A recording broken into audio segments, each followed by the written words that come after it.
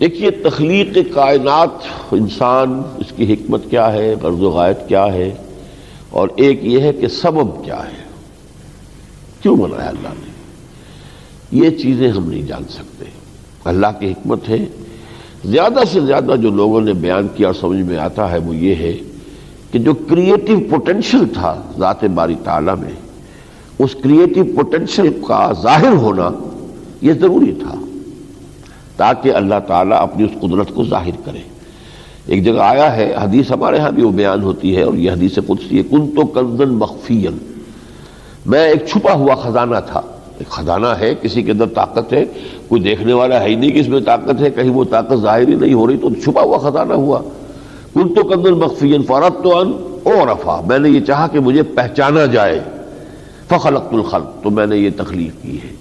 अब ये पूरी कायनात की तकलीफ़ की है, फिर इस कायनात में एक ऐसी नौ को पैदा किया इंसान को, जिसमें ये शूर है, जिसमें फिर रूह भी डाली है, जिसमें पूरा इदराक करने की सलाहियत मौजूद है कि वह अल्लाह ताला की अजमत का एतराफ़ और अल्लाह ताला की अजमत का इदराक कर सके। और उसमें जो चोटी पर है वो मोहम्मद सल्लल्लाहु अलैहि वसल्लम है। और आपने वो जो मार्फियत अल्लाह ताला की है, वो आखिरी दर्जे में हासिल की है।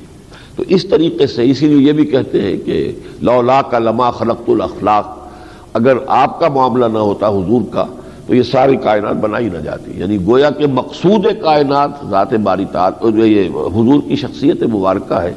और पेश नज़र क्या है कि हुजूर ने जैसे अल्लाह को पहचाना है तो अल्लाह चाहता था कि मुझे पहचानने वाले हो।